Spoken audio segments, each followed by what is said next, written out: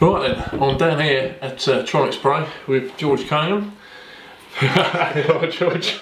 How you doing? Right, HTO, bit of a success story for you. Yeah, Um, been- I've been seen the, the rods, the lure game rods, so I've been playing with them most of the summer. I've had some fantastic Yeah. fish on them, but I've noticed you've got a table full of goodies here to add to the HTO absolutely, brand. yeah. Um, we're adding several new bits on at this stage of the year just to um, to launch. Hopefully, all being in time for Christmas. Cool. Um, starting off with a couple of tools. Yeah, I've just- angler. Pick these off the shelf here. Absolutely brilliant these are. The pliers. Stainless steel pliers. Yeah. Titanium cutting braid, obviously Yeah. for cutting your braid. Various sizes of crimp Yeah. holes there. Yeah. Nice Serrated teeth on the end. Yeah. Spot on really light as well. Yeah. Surprisingly light. I've been using a, um, a sample pair of them since February, and Right. they've been on pretty much every fishing trip I've been on. They've been out to Norway. Yeah.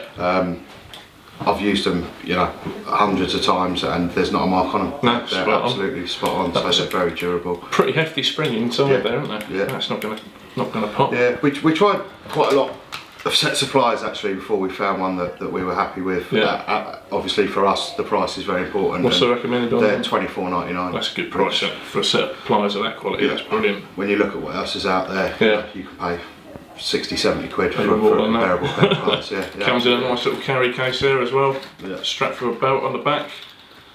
And of course the old lanyard. That's uh, very very handy.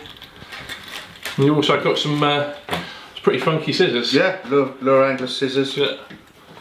Yeah, I like these. They've got a, obviously a braid cutting blade on there. Braid cutting blade, all serrated um, teeth there as well, obviously for hook removing and stuff. Yeah. And you've got the split ring pliers on the end, so for, for changing lures and hooks Ideal. quickly and I like the way that the uh, the, the handle's angled as well. It actually sits Yeah. really nice in your Yeah. hand, doesn't it? Yeah, Unless if you're left-handed, you just turn them around. But uh, spot. What's the RRP on them? they're four ninety nine. Brilliant. Yeah. Yeah, that's a nice little addition there. Couple, Yeah. of, couple, of, couple of nice tools for the HTO brand. Check them out.